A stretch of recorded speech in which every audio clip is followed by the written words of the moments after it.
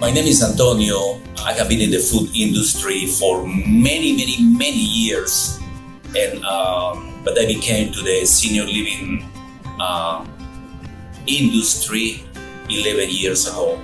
I love to be around the dining room most of the times. It's the way that we can uh, pay attention their needs. We can listen ideas.